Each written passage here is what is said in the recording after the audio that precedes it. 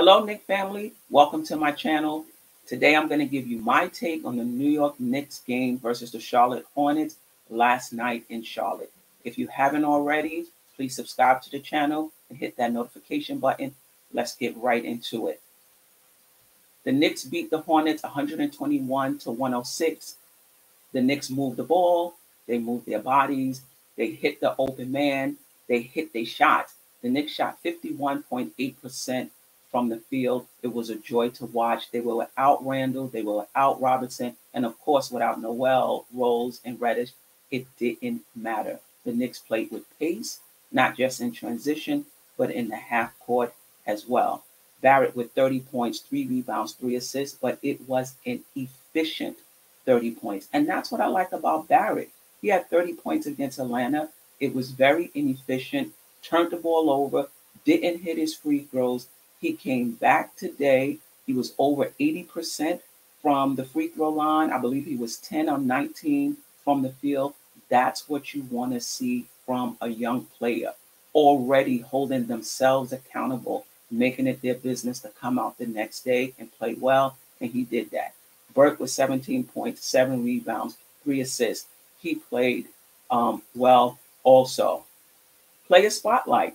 Obi Toppin, 18 points, 11 rebounds, six assists, 72.7% from the field, 50% um, from the three point line. I talked about Obi in the video I dropped yesterday. I talked about him on NBK pregame report. I talked about him again on the crossover.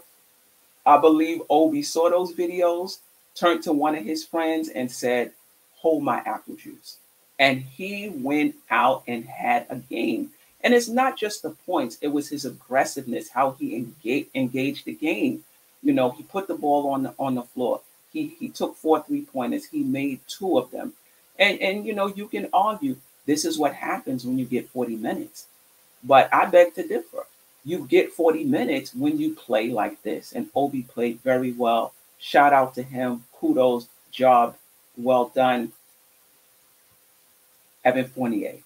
Evan Fournier broke the single season three point made record that was previously held by John Starks.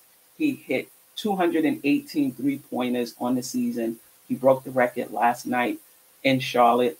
Kudos to him. Fournier gets a lot of flack, but his role has changed on this team. This is somebody who can score on all three levels. He came in, basically, he's third fiddle to RJ and Randle. basically just a three point shooter. And what does he do? He accepts the role, he finds his place on the team, and he breaks the season season. The season, um, the single, the, the, the season record. You know what I'm talking about. Kudos to you, um, 28. Job well done. These are the team stats. We can look at the points. We can look at the fact that the Knicks were out rebounded, but still won the game. We could talk about their field goal percentage, their free throw percentage, which seems to be an anomaly, right? 88.2%. But I want to talk about the assists. They had 30 assists. I believe that was the third most this season. And that's a testament to what I talked about in the beginning. They move the ball, they move their bodies, but they hit shots, right? You can move the ball, you can move your body, but if you don't make the shots, you don't get the assist. This Knicks shot very well tonight, over 50% from the field. Next game versus Miami, Friday.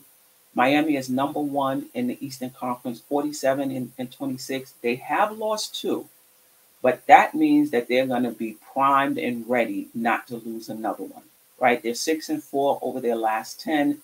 They've we they they beat us twice this season already. They're 12th in offensive rating, fourth in defensive rating. The Knicks are 24th and 14th respectively. So the Knicks are going to have their work cut out for them. However, however, if they play the way they played against Charlotte, if they shoot the ball the way they shot it against Charlotte, they can beat anybody. All right kudos um, to the Knicks. Catch me on the Queen's Court Monday evening where I'll break down the entire slate of Knicks games as well as look ahead to next week's game. That link will be below. Also, Friday, check out the NBK pregame uh, report on Simeon Russell's channel. We'll, they'll well we will I should be there as well. break down the Miami Heat in depth and we'll talk about keys to the game and key matchups. Appreciate you, fam.